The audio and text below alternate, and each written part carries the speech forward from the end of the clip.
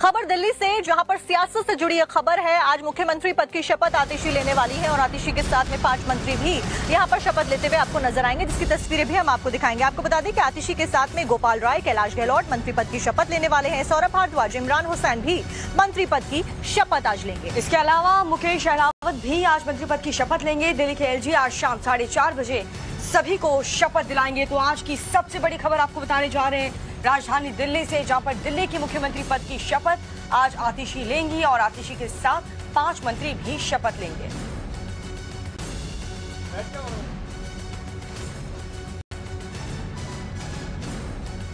भी आज मंत्री पद की शपथ लेंगे। दिल्ली के एलजी आज शाम साढ़े चार बजे सभी को शपथ दिलाएँगे। तो आज की सबसे बड़ी खबर आपको बताने जा रहे हैं। राजधानी दिल्ली से, जहाँ पर दिल्ली के मुख्यमंत्री पद की शपथ आज आतिशी लेंगी और आतिशी के साथ पाँच मंत्री भी शपथ लेंगे।